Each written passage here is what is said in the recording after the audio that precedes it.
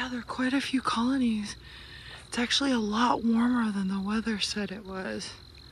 It's like 70 degrees, I would say. And there are pockets of these really strong early November crickets.